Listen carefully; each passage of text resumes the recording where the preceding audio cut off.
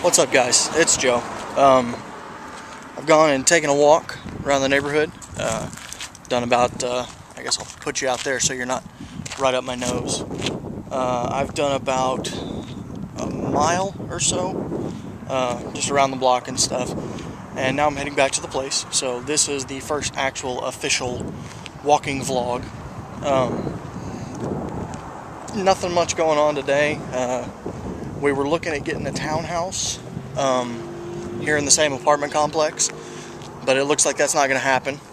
Um, so uh, we're where we are for now. Uh, who knows what will happen in the future? But that's uh, that's pretty much it. Um, I uh, managed to pull my hip flexor muscle, and I'm not sure why I did that.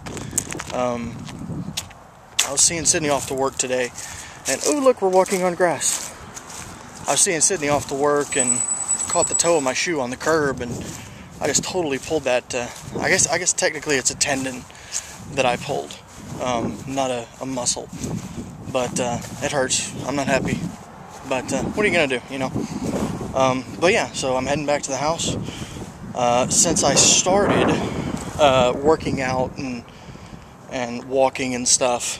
Um, my weight is down a couple of pounds. My body mass index is down a lot, actually, uh, which is good. Um, I think I'm going to go back home and probably make me a peanut butter and jelly sandwich because that's always tasty. Um, and that's uh, pretty much it for today. I uh, I'm making a map making tutorial for uh, like Dungeons and Dragons type maps, fantasy maps. Um, I started it this past weekend, and uh, I I didn't have all the stuff that I needed to do it, so it uh, it just didn't didn't all happen that day. But I'm working on it, and I'm working on getting video editing software still. Again, whatever. Um, to try and get that set up right, and uh, that's pretty much it, I guess. So, uh, uh, yeah, I'll let you guys go. It's been good talking to you. See you later.